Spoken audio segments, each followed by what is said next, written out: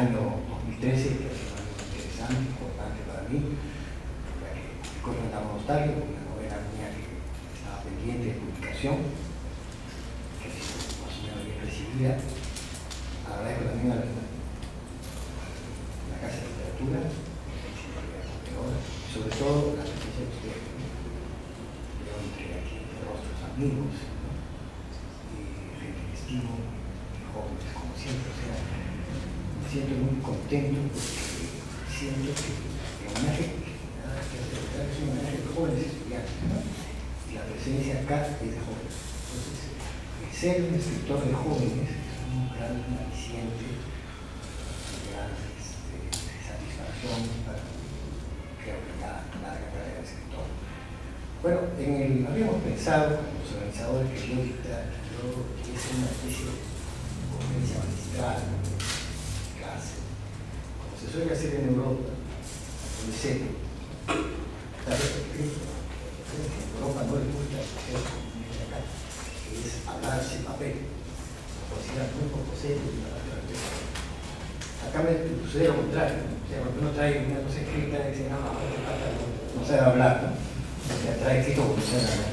Entonces acá gusta más lo contrario, pero como se trata un poco de alguna manera un congreso de literatura, la academia, que me decía, una excelente facultad de literatura como la de la Real, que ha producido, conversábamos con algunos amigos, muy buenos escritores, algunos de acá presentes, ¿no? yo preparé un texto. No sé, es que aquí me dice la pedido que hable una serie de cosas que no estaban escritas acá, negras y cosas, cuando yo había preparado más bien este, un texto de alguna manera académico, una especie de reflexión sobre la narrativa peruana, como ya la llamo, la narrativa del interdosis, ¿no? final del siglo XX y del siglo XXI. Entonces ahora además era, eran 16 páginas. No sé, ¿qué dice? ¿Cuento anécdotas o eso? Este, es que el tráfico no ha sido culpa mía, sino que el tráfico Lima, y ella tiene la culpa. Yo le digo echar la culpa públicamente de la idea. El tráfico está ahí en Lima. Este, entonces, este, voy a hacer una, voy a leer, pero voy a leer solamente parte para que pueda haber tiempo más bien para que queden la, El texto se llama Escribiendo entre dos ciclos, una especie de testimonio personal, donde yo aprovecho mi trayectoria mi experiencia como narrador que se realizó sobre todo entre los, la segunda mitad del siglo XX y los primeros años del siglo XXI para reflexionar en líneas generales sobre la literatura peruana reciente, los caminos por donde va. Los críticos por lo general les gusta hablar sobre las azotaderas, sobre viejos, sobre guerras, no arriesgan, ¿no? son muy pocos los críticos meritorios que se juegan con lo que se está haciendo en la actualidad, o sea, que nos acompañan con su reflexión. También es interesante lo que los mismos actores, los escritores piensan de todo lo que se está haciendo porque escribir también nos supone reflexionar, pensar sobre lo que estamos haciendo y que lo estamos haciendo, como suele ser en toda literatura, acompañado de otros escritores. Yo escribo, conocido, literatura fantástica, acompañado de no, Pepe, que también es un gran escritor de literatura fantástica. Leo, lo leo, y diálogo. Y con otros que no están presentes, están presentes con mi amiga Julia Obón, que está aquí. Siéntate, Julia, parada. Bueno, eh, yo voy a empezar con la siguiente idea. La literatura peruana del siglo XXI, o sea, la que va, eh, no creo que se inicie el año 2000. O sea, no empieza el 1 de enero del 2001, sino más bien yo creo que se inicia en la, en la última década del 20, en 90. Y esto, cuando aparece un número significativo de narradores con una estética diferente a la tradicional narrativa realista. En ese momento nace la literatura Entonces, en ese escenario es que yo creo que que escribo la, parte más importante de mi obra, entre escritores, de los retazos C, que buscamos una estética distinta, una opción diferente a la tradicional literatura Es difícil, no es fácil escribir en tiempos de transición, es el tiempo de transición. ¿no? O sea, se está todavía en el mundo, ¿no? Gramsci decía, ¿no? lo que está muriendo no ha terminado de morir y lo que están haciendo aún no ha nacido completamente. Entonces eso es la visión es una etapa difícil porque generalmente trae incomprensión. Trae incomprensión. Primero incomprensión por lo que hacen la vieja literatura, que no soy mala, somos unos transgresores, y los, y los, que, y los nuevos porque a veces nos, nos que traemos modos de viejo mundo. ¿no? La, idea era o me pegaba, yo era muy amigo, por ejemplo, de los actores de la Nación en la década del 70, del 70, Miguel Eduardo Reynoso, que todos ellos eran muy, muy cercanos. Entonces yo tenía que optar, me pegaba la vieja manera de narrar para ser reconocido por cierta crítica, ¿no? o buscaba nuevas formas, o que por opción. Una pequeña anécdota que no es muy simpática, pero que ilustra eso, ¿no? Un crítico literario, profesor universitario, ha fallecido, escribió en el número 11 de la revista Hueso Humano en 1981 un artículo sobre la primera novela, La Comunidad los Árboles, de la cual ha hablado este Es un artículo largo, exhaustivo, elogioso, que sin embargo concluye diciendo que si bien mi novela muestra el debut de un narrador interesante, se trata de un escritor decadente. O sea, habla como 10 páginas, en la página número 11 de la revista Hueso Muy, lo van a ver, 10 páginas elogiando, y al final de la última página, un poco como hace la vida también en alguna de sus reseñas, viene una chiquita que es una grandaza, que me dice que soy escritor decadente, ya que en lugar de preocuparme por la realidad nacional, escribo sobre mis propios demonios. Y que si deseo ser, me da un consejo, que si deseo ser un escritor importante, debo escribir sobre problemas urgentes de empleo. Ya desde ahí, desde primera novela, ¿no? Entonces, yo siempre he tenido ese estigma, es decir, ser un escritor creo incomprendido y por lo tanto lo que me convirtió en un escritor de culto, ¿no? Que alguien decía que es un escritor que todo el mundo estima y nadie lee, ¿no? Más que de culto era oculto, ¿no? Escritor oculto. Bueno, pero creo que estas opiniones este tipo tuvieron que ver no solamente con la función que se le asignó a la novela en el hasta los años 80, sino además con el surgimiento tardío de la novela moderna en nuestro país. No tuvimos ninguna novela importante en el siglo XIX. Ricardo Palma, quizás el único narrador peruano destacable del siglo XIX, no escribió novelas. Recién tenemos novelas que podemos considerar modernas, El mundo Sancho Ajeno, de Silva Alegría, y sobre todo Mario Vargas. Recién en ese momento empezamos a tener lo que se conoce en el mundo occidental como una novela moderna. Este, este, López decía cuando escribió Pulcó Matarachero en los 30, he escrito una novela retaguardista. ¿no? Para jugar con esa idea de que la vanguardia parecer no era muy importante en el Perú. Sí, no era para la poesía, pero no para la novela. ¿no? Las primeras novelas peruanas modernas se escriben cuando en Europa se están publicando las obras terminales del género. La ciudad de los perros es de 1963, está la primera gran novela moderna peruana, y se publica el mismo año que Samuel Beckett publica Cómo es. O sea, una novela absolutamente ilegible para un lector no acostumbrado a la novela. Cuatro años antes, Burroughs había publicado el avanzadísimo y experimental Almuerzo de Mundo, en el año, eh, cuatro años antes del 63, o en el 59. Ese mismo año, Arguedas publica Diamantes y Pedernales. Comparen ustedes. En el mundo occidental de la obra moderna, Almuerzo de Mundo de Bueno, en el Perú, Diamantes y de Estos datos ilustran la diferencia en cuanto al desarrollo de la novela peruana en los años fundacionales, en comparación a la occidental de la misma época. La, la respuesta al por qué no tuvimos novela moderna hasta esa fecha es sociológica. No se puede decir que no había talento. Por ejemplo, Omar, extraordinario talento, no creo que haya nadie que tenga más talento que Omar en la literatura peruana. Él escribió una novelucha de 3x4 que se llama novela La ciudad de los tísicos. ¿Por qué? Si un hombre tan talentoso. ¿no? A los 27 años se dejó toda una obra enorme que todos apreciamos. ¿no? ¿Cuál sería la explicación? ¿Por qué no hay novela peruana hasta recién los años 60 en Perú? Porque no estaban dadas las condiciones históricas para el desarrollo del género. Como dicen los sociólogos de la literatura, para que exista novela se requieren dos requisitos. Que exista una clase burguesa, madura, desarrollada, se ha dicho siempre que la novela es un género burgués, y un gran centro urbano, la urbe moderna. La novela, por definición, es burguesa, urbana, y esto recién se da en el Perú a mediados del siglo XX. Recién se consolida la clase burguesa mediados del siglo XX, y hay una gran moderna Perú que es Lima. Eso produce las novelas de la región.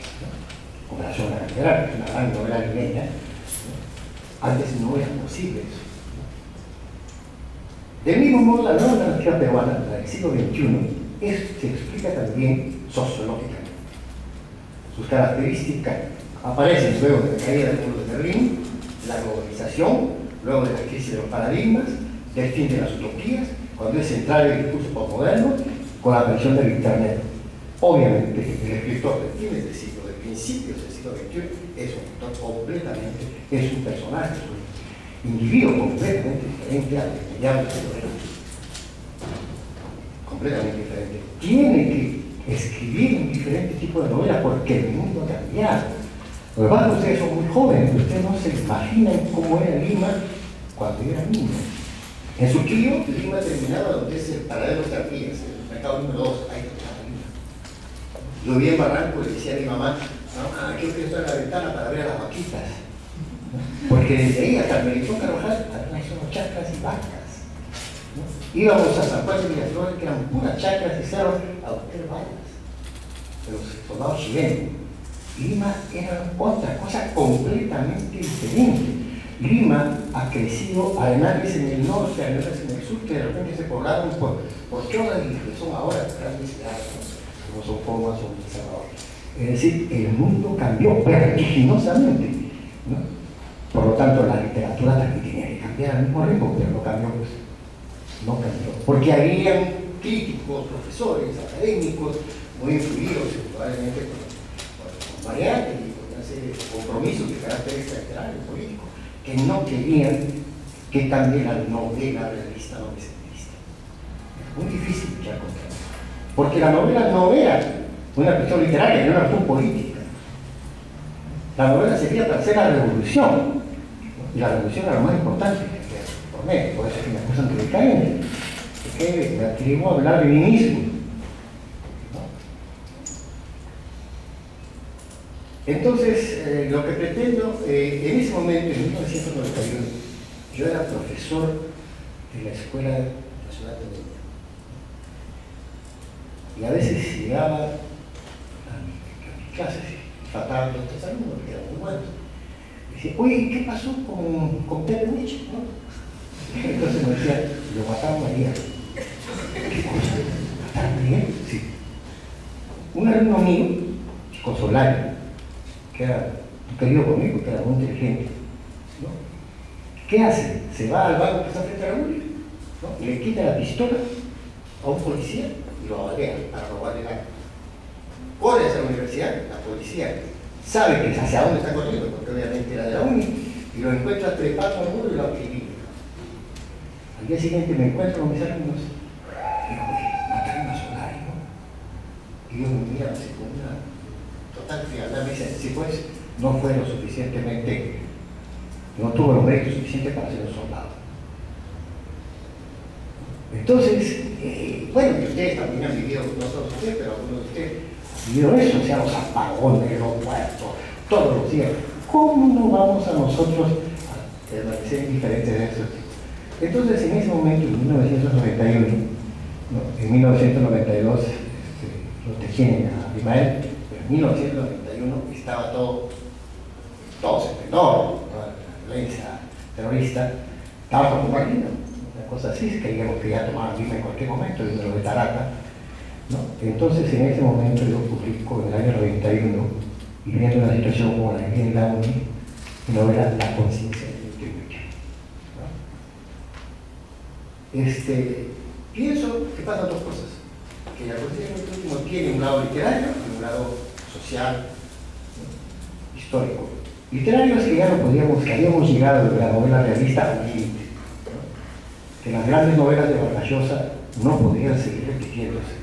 Eran grandes novelas, pero eran terminales. ¿no? la novela del siglo XIX que no se había escrito en el Perú, que hasta escribiendo Grandes novelas de Balzac, de Tolstoy, de Dostoyevsky, la estaba escribiendo Vargas Entonces nosotros teníamos que saltar al siglo XX, siglo de Kafka, siglo de Proust, siglo de Joyce, siglo de Virginia Entonces habíamos llegado a la narrativa del límite, pero también en el Perú habíamos llegado al límite.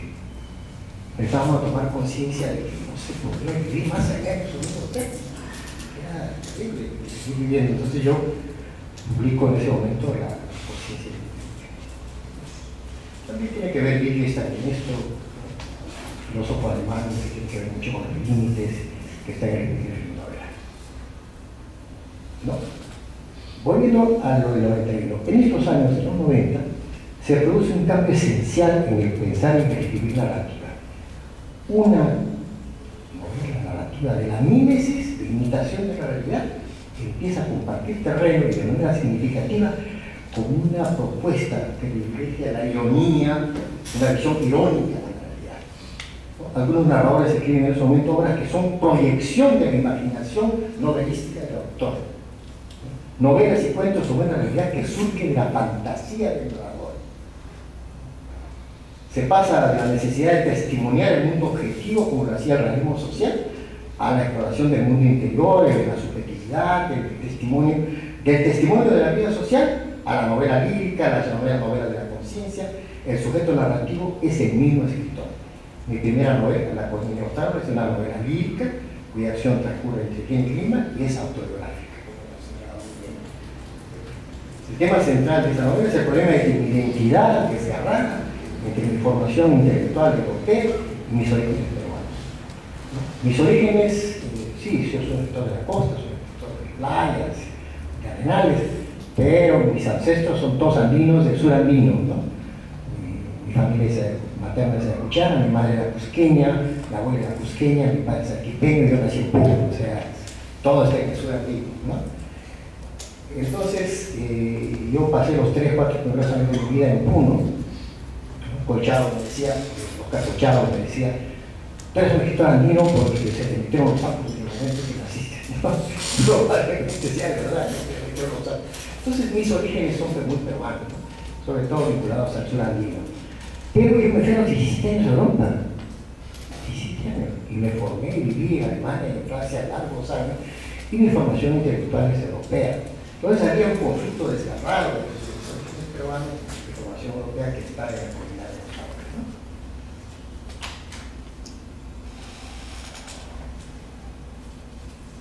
La narrativa de los 90 de la que pertenecería la Comunidad de los ¿no? Es una narrativa que a una verdad de contenido que era la anterior, se añade ahora en la narrativa peruana una verdad de formas.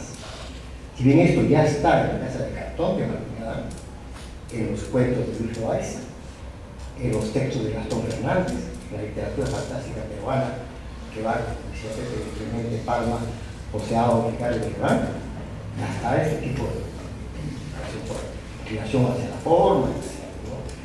Ese tipo de narrativa antes de los 90 es absolutamente marginal, totalmente marginal, intrascendente para la crítica, para la práctica misma del grueso de los narradores, la mayoría de los cuales son realistas sociales.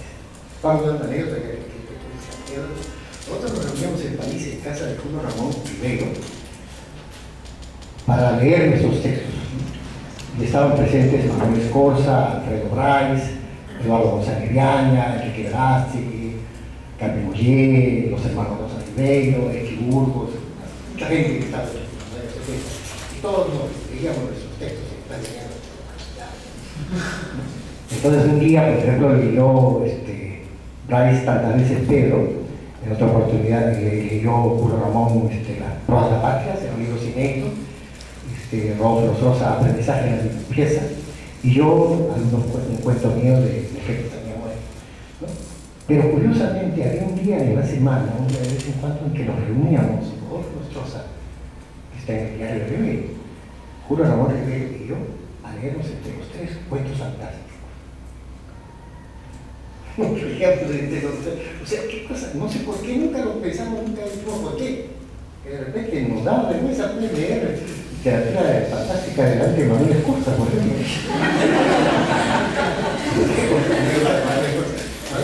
Que tenía carro, auto. Entonces a veces nos quedábamos en la casa de Ramón hasta muy tarde. A una mañana ya no había metro, entonces tenía auto y iba cerca de mi casa y me llevaba a casa. Un digo, oye, este, tú eres famoso, tú eres. ¿Cómo? Porque también famoso. ¿Por qué es eso? Sí, en esa época. Saca tu novela de una con 50 ejemplares ¿no? y se la mandas a todas las editoriales españolas. A 50 editoriales españolas, le mandas las 50 novelas. Una de esas te, va, te, la vas a aceptar tu novela. Si ninguna acepta, entonces retírate, pues compadre. si 50 te dicen que no, retírate, pues. Manuel tiene una lengua así, piperina.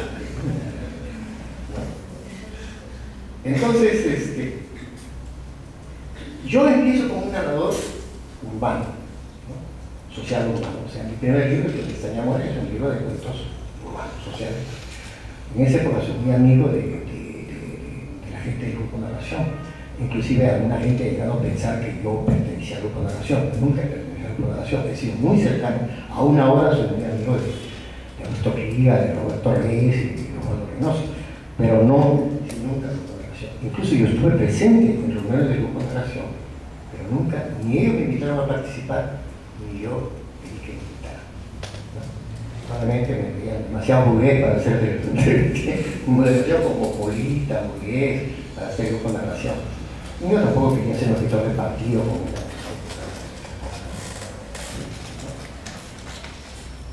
Eh, pero hay una cosa que sí caracteriza a mi literatura. Yo desde el primer día en mi narrativa coexisten relatos realistas y relatos fantásticos.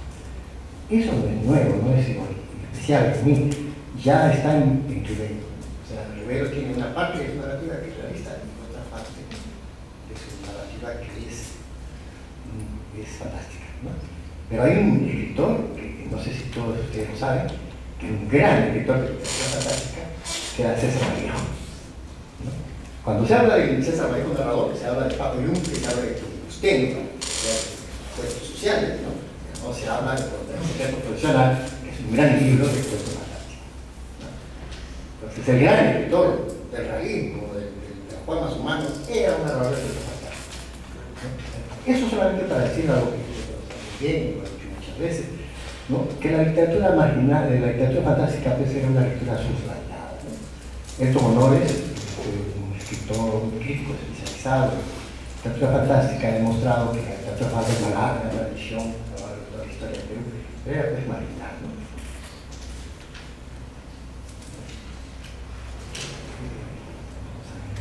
Bueno, la cosa es que a finales, en la época de los 50, poco la, antes de los 50, la, la influencia, lo, que se leía era este, literatura peruano. ¿no? Pero a finales de los 90 es increíble la cantidad de lecturas que se amplían para jóvenes escritores. He hecho una lista larga, pero voy a algunos nombres que, que veíamos en esa época. ¿no? Jóvenes, ¿no? Joyce, Thomas Mann, Lovecraft, Kafka, Fong, Cristina Wood, Hemingway, Calvino, Boris, Nabokov, Kawabata, Mishima, Bonnet, Prado, Chandler, Burro, Kerouac, Thomas Merton. Eso final de los 20 los narradores. Pero la diferencia con los narradores anteriores que para nosotros, que estábamos en de siglo, esos grandes nombres de la literatura universal eran nuestros escritores. Para Thais, por ejemplo, su escritor era Nabokov, Nabokov. Y cuando él escribe La gente llora, que trata de, es un homenaje a Robert Sewell.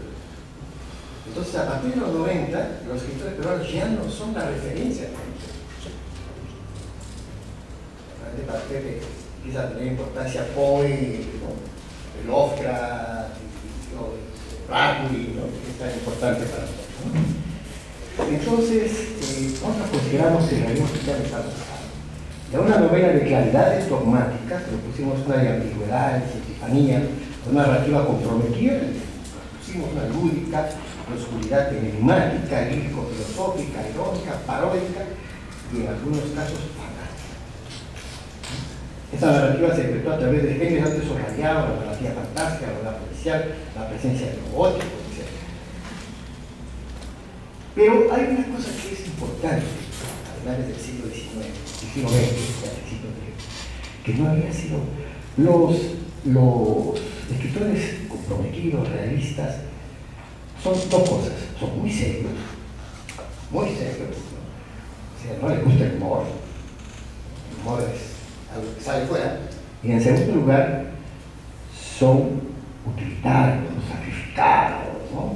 que dar la sangre, pero final del siglo XX empezó a hacer una idea que es importantísimo, que es el del placer para leer y para escribir.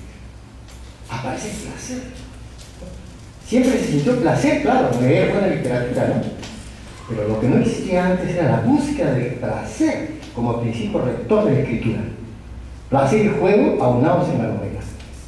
Eso antes no existía. Una novela escrita para, para sentir placer al, leer y al escribir. ¿Quién es nuestro maestro? Cortázar. Cortázar es el gran maestro del arte del placer jugar. Nos iluminan sus cronopios y famas, nos abren completamente el cerebro. Y claro, y, este, la composición de Rayuela, que todos ustedes mencionado hace poco. Después de Borges, Cortázar y Arriola, un gran escritor mexicano, fantástica, ya no escribimos por el rigor de conciencia, sino por el placer involucrado al escribir, buscando brindar placer con lo que se escribe. Ya no es el fantasma santreano del escritor comprometido, no, es un escritor que puede. ¿no? Empiezan a ver, por ejemplo, aparecer como producto de esta, de esta nueva idea de placer el refinamiento de la prosa.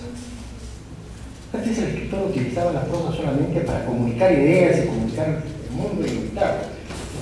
A partir de los finales del siglo XIX, los escritores empiezan a pensar en términos de exquisitez de la buena literatura. Yo lo he escuchado, por ejemplo, decir a escritores muy conocidos por usted que lo que importa es escribir bien, entre cuando recursos. Cuando dice, lo que importa es escribir bien. ¿Qué cosa es escribir bien? Es una cosa muy refinada, un refinamiento de la prosa. Pero este refinamiento de la prosa viene porque el lector lo exige.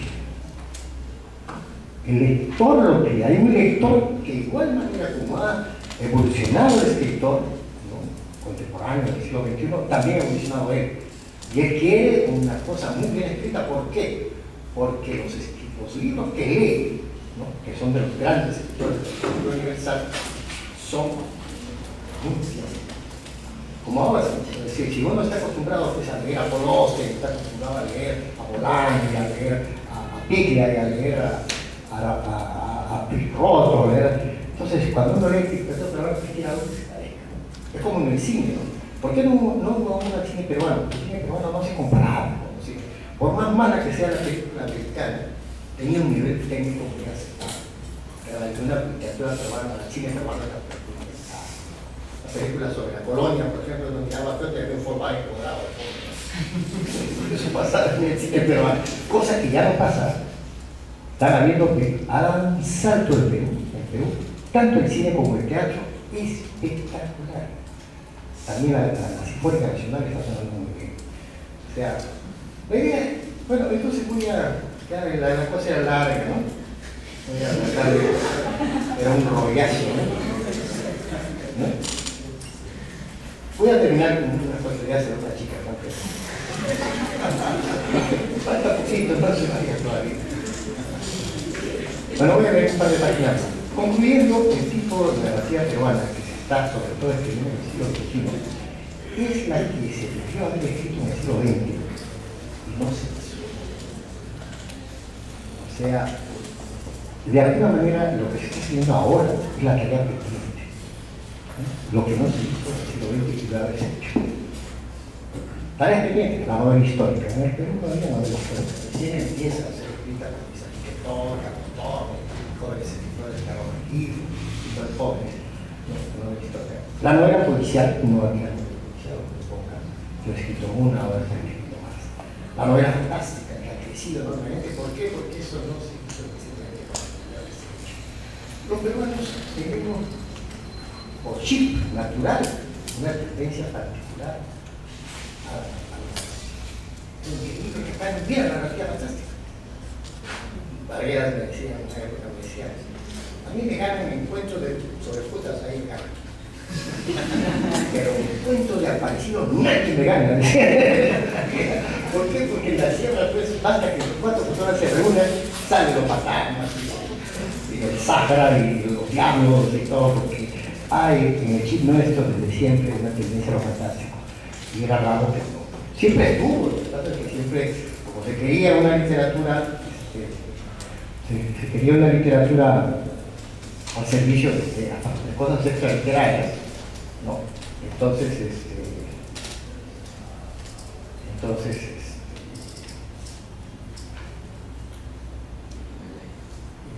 cualquier cosa que se saliera de ese, de programa político este, era mal visto.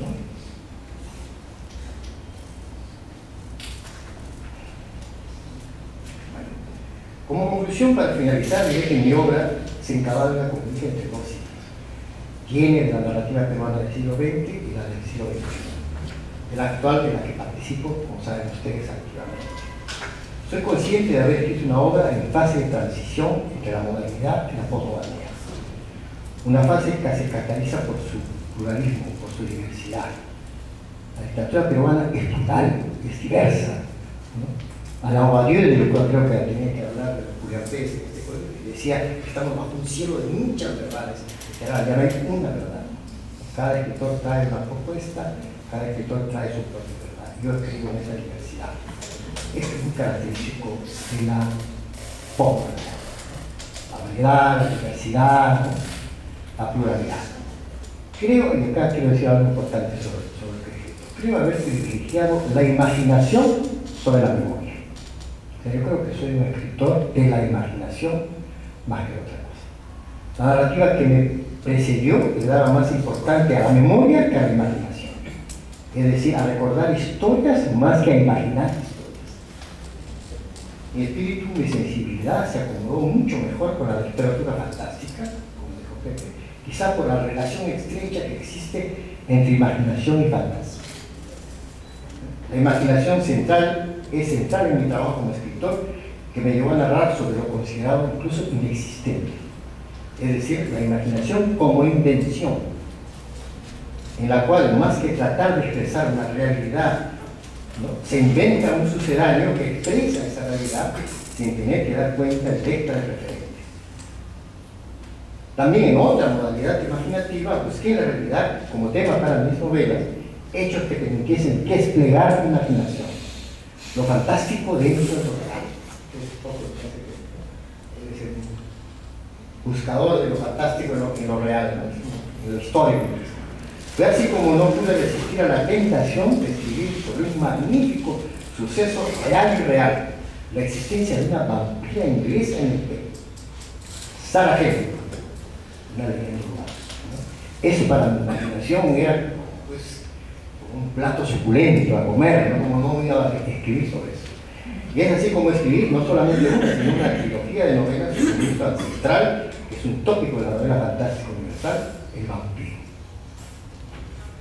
Ya terminé, ya terminé. En alguna oportunidad, oportunidad declaré en una entrevista algo sobre lo que creía había sido mi vida como escritor.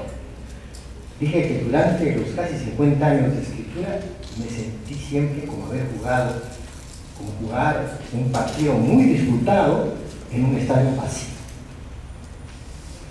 sea, un escritorio no hacían caso, no tenía lectores, no, no se encontraban en librerías. O sea, 50 años escribiendo, jugando un partido muy disputado, que no era fácil meter gol en ese, partido, pero es algo. Es como jugó Pedro Coro contra, contra Bolívar, contra un estadio vacío. O sea, sin que nadie me dijera, oh, me va, ¿no? Ahora siento que ya no, que ese estadio vacío se ha llenado de bastante gente, y de un público de jóvenes. Creo que estoy, no en un estadio, pero sí en unas sitios donde hay muchos jóvenes. Wolfgang Lútimo, un escritor, un físico alemán, especialista en Rivera, que vino en los años 70 hizo un análisis de la literatura peruana, un ensayo. Dijo, bueno, acá está, está fulano, está otro, está otro, está otro. ¿no? Pero hay uno que es un escritor fantasma, Carlos Carlos. Ya desde esa época ya me, habían puesto el escritor fantasma, de Carlos. Y yo creo que sigo siendo un escritor fantasma. Yo no sé si soy yo el que estoy acá o es otro el que está acá, pero, pero algo de eso hay. Pero eh, ser un fantasma concedió, me concedió sigue concediendo libertad. Se puedo escribir sobre lo que me da la gana. No tengo por qué darle cuenta al comisario del partido ni a la señora que controla la venta de libros. Que me dice, no, señor, tiene que escribir esto, esto, esto, porque eso se vende. O tiene que escribir esto, esto, esto, porque esto sirve para la revolución. Yo escribo lo que me da la gana. O sea, escribo una trilogía de vampiros y no importa pepino si la gente me diga, oye, usted es uno de vampiros, sea un poco más serio. De esas cosas me pasan. Un tío mío me, dice hace poco en una reunión, me dice, hijito, carito, un viejito. Me dice, tú siempre de chiquito fuiste muy inteligente. Otros en la familia esperábamos grandes cosas de ti. Y sin embargo, ya eres una persona bastante mayor y sigues escribiendo cuentitos. cuentitos, cuentitos, yo no escribo pues, un cuentito de los vampiros. Entonces, este, sí, pues, o sea, eh, es importante poder ser libre para escribir lo que uno quiere. No todos pueden hacerlo. ¿no? Yo creo que la literatura fantástica en el Perú está haciendo eso ahora, ¿no? Está escribiendo lo que nace. Yo soy joven, por ejemplo, acá está conversando con uno, y uno habla de ciencia ficción, ¿no? qué maravilla, ¿no? o que uno te la. Y eso es fundamental en la literatura y en el arte, la libertad. La libertad para expresarse, la libertad para crear. A pesar de que no he sido nunca suficientemente reconocido, creo, no he perdido la ilusión. Creo que sigo teniendo ilusión. Otra cosa que sé. Esperanza no sé. No creo que la esperanza ya la perdí. ¿no? Pero la ilusión, la esperanza, digamos, de algún día que me llamen, ¿no?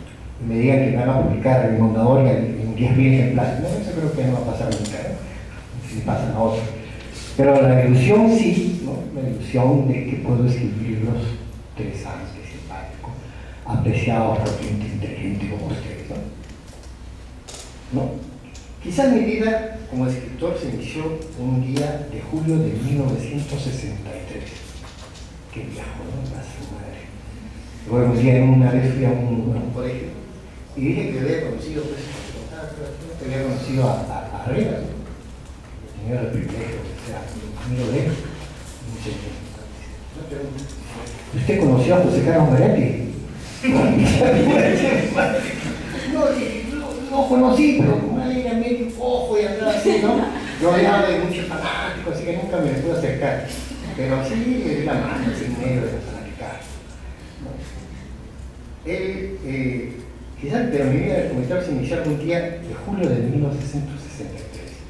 Es decir, hace 50 años, unos días después que murió Edith Piaf, conocí a Ribeiro. Yo era muy jovencito, ¿no? cuando Julio Ramón me preguntó, ¿no? ¿a qué has venido a París? ¿No? El cuento de historia. Sí, sí, sí. sí.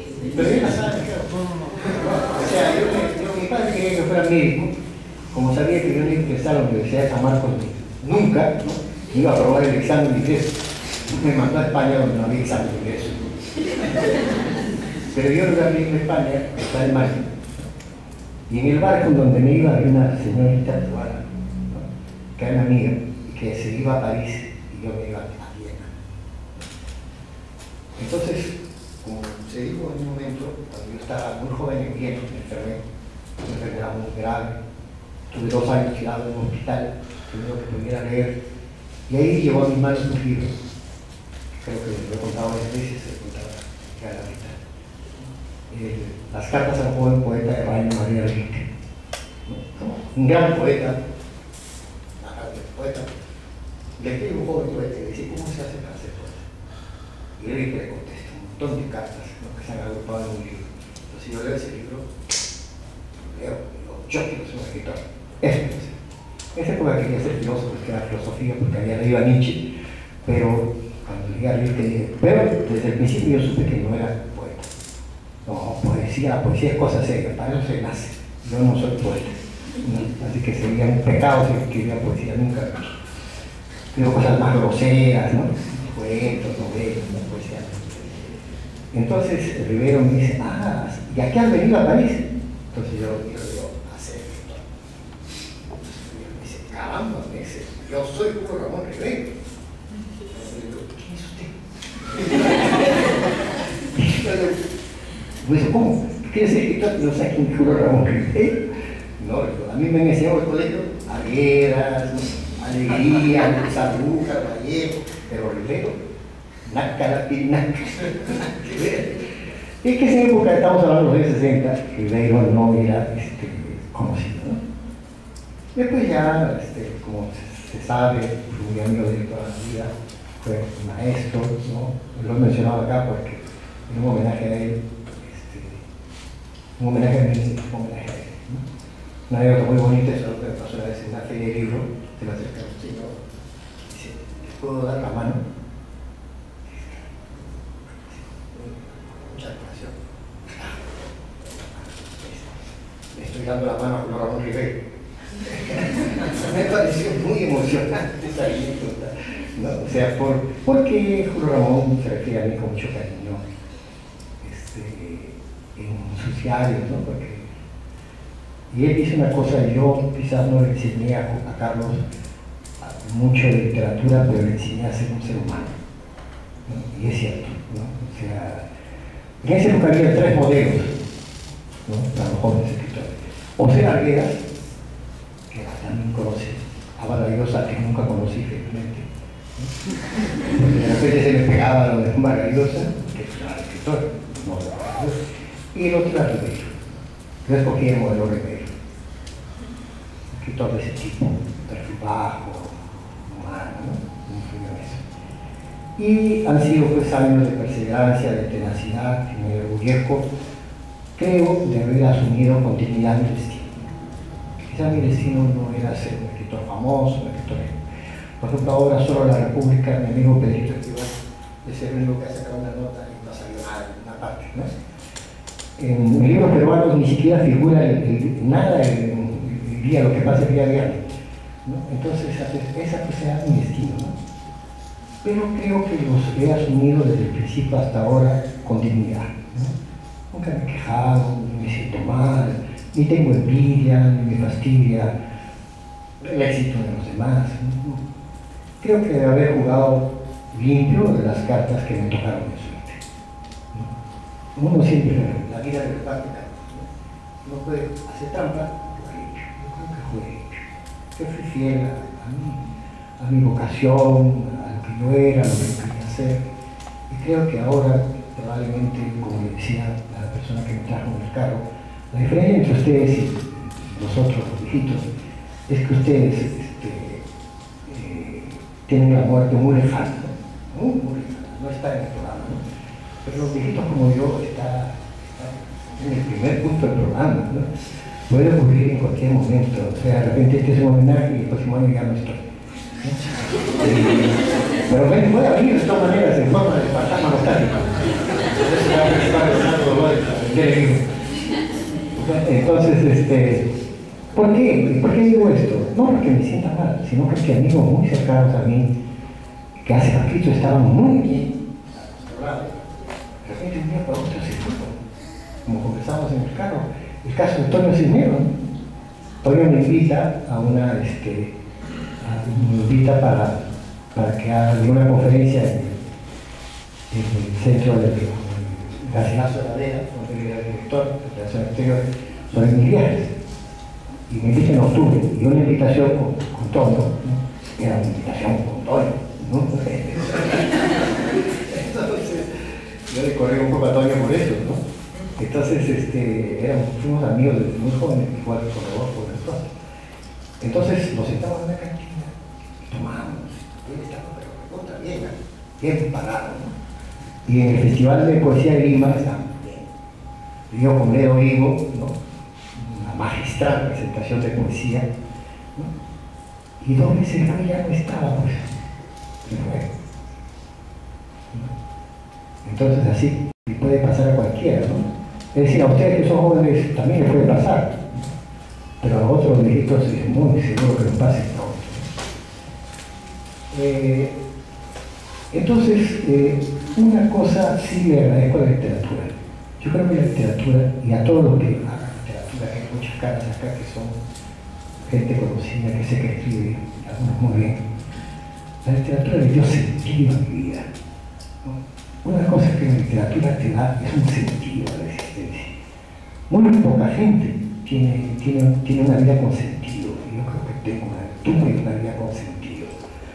¿no? Poder hacer lo que uno quiere, escribir poesía, ser torero, equilibrista, exorcista, sin importarlo lo que, si nos morimos de hambre, ¿no? cuando uno, como, como conversábamos con Laura, ¿no? es decir, cuando me dicen, mamá, ¿qué cosa quieres ser? Quiero ser poeta hoy. Pero te vas a morir de hambre, te vas a morir de hambre. Y tienes razón, porque no se muere de hambre. Hambre hay, pero trago no falta. Entonces, yo también tengo un hijo que es poeta, ¿no? Entonces, a ver, ¿qué puedo hacer?